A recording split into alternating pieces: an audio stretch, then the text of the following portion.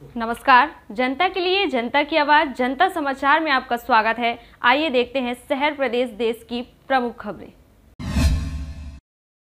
भोपाल के हमीरिया अस्पताल में ब्लैक फंगस से पीड़ित दो मरीजों की मौत, इंजेक्शन की कमी पूरी करने के लिए सेंट्रल स्टोर से बांटी दवाएँ। ब्लैक फंगस यानी म्यूकर माइकोसिस का संक्रमण प्रदेश में 29 से बढ़कर 33 जिलों तक पहुँच गया है।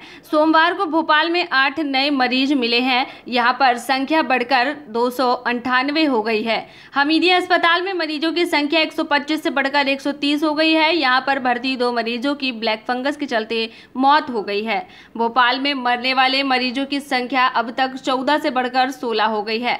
सोमवार को नेत्र रोग विभाग के डॉक्टर्स ने ब्लैक फंगस फंगस के कारण एक मरीज़ की आँख का ऑपरेशन किया। इस दौरान उसकी एक आँख निकालनी पड़ी। 11 मरीजों की एंडोस्कोपी होनी थी, लेकिन मरीज़ फिट नहीं होने के चलते सिर्फ़ सात मरीजों की एंडोस्कोपी हो पाई। गांधी मेडिकल कॉलेज के डीन डॉक्टर जितेंद्र शुक्ला ने बताया कि लगातार मरीजों की संख्या बढ़ रही है। मरीजों की संख्या को देखते हुए विदिशा मेडिकल कॉलेज से दो ईएनटी सर्जन को बुलाया गया है। अब पाँच डॉक्टर्स की टीम यहाँ पर मरीजों का इलाज कर रही है। मरीजों के इंजेक्शन और दवाओं की कमी न हो, इसका ध्यान रखा जा रहा है। दूसरी तरफ़, रविवार सोमवार के दरमियान रात को इंजेक्शन की आस में मरीजों के परिजन भटकते रहे।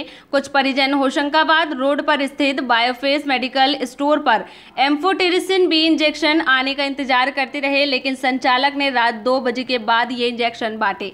इसके चलते कई जरूरतमंदों को ये इंजेक्शन नहीं मिले, जिसके चलते उन्हें उन्हें सोमवार को भी भटकना पड़ा। एक परिजन सुरेंद्र शुक्ला ने बताया कि रात दो बजे तक वो इंजेक्शन के लिए रुके रहे, लेकिन मेडिकल स्टोर संचालक ने स्टोर ही नहीं खोला।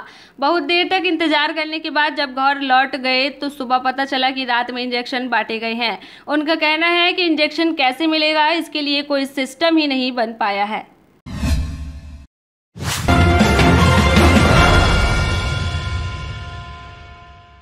आप देख रहे थे शहर प्रदेश देश की प्रमुख खबरें और प्रमुख खबरों को देखने के लिए हमारा चैनल ज़रूर सब्सक्राइब करें और बेल आइकन की बटन को दबाना ना भूलें।